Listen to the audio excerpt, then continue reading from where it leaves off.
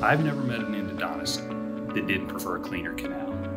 Never. So why wouldn't we all want to at least explore the options?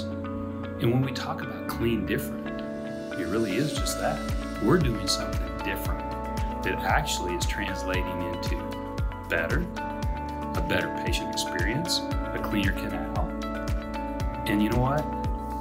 It's making me a better clinician. I'm having more fun than I've ever had before because I'm cleaning better.